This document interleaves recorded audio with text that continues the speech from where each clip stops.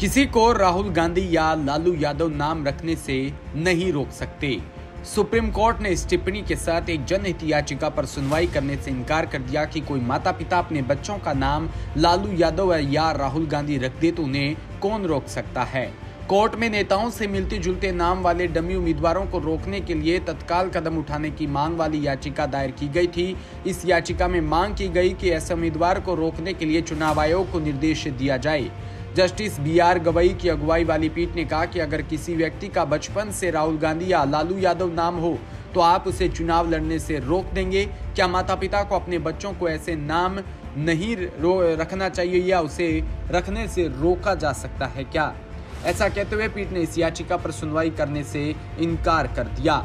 Supreme court bar association में जब एक तिहाई महिलाओं की हिस्सेदारी चुनाव में रिजर्वेशन लागू करने के निर्देश और चार्जशीट ऐसी हो कि सिद्ध हो जाए अपराध, सुप्रीम कोर्ट की अहम टिप्पणी हिंदू विवाह पर सुप्रीम कोर्ट का बड़ा फैसला आया है।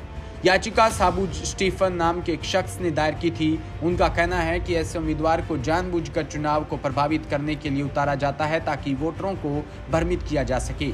याचिका में कहा गया कि कई बार ऐसा होता है कि मशहूर नेता इस तरह के हल्फनामों की वजह से बहुत कम अंतर से चुनाव हारे हैं। अदालत दरअसल चुनाव आयोग को निर्देश दे कि इस तरह के मामलों को गहन जाँच पड़ताल की जाए ताकि तथ्यों का पता लगाया जा सके।